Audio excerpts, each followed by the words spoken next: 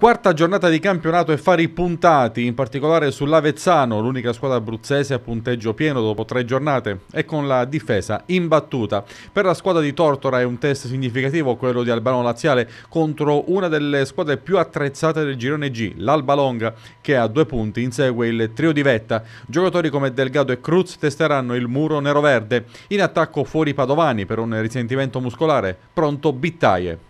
Sempre nel girone G cerca la prima vittoria nel nuovo impianto del Gran Sasso d'Italia Italo Acconcia all'Aquila. Ancora una volta ci si aspetta una buona cornice di pubblico per spingere la squadra di Massimo Morgia alla vittoria contro l'Ostiamare che è un'altra delle tre battistrada e può contare sui gol dell'ex Chieti e Canistro Michele Vano sempre a segno nelle prime tre partite.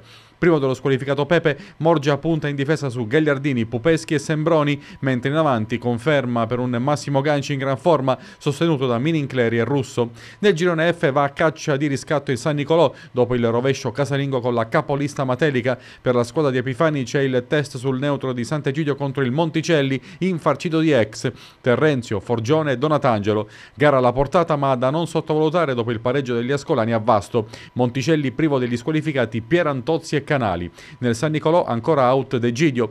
Riscatto cerca anche il Pineto che deve dimenticare lo scivolone interno con l'Agnonese per l'11 di Aldo ammazza l'orso trasferta a Cesena sul campo di un Romagna centro ancora secco di vittorie come peraltro il Chieti che è a secco anche di punti. Domani all'Angelini arriva la neopromossa Civitanovese. Se Chieti diventerà per tanti terra di conquista lo si comincerà a capire già da domani. La squadra teatina finora ha sempre pagato dazio nei secondi tempi per via del ritardo di preparazione. Domani il tecnico Mariani potrà contare sui nuovi arrivati in settimana, il portiere Ronchi e i centrocampisti Viscido e Ceccarelli.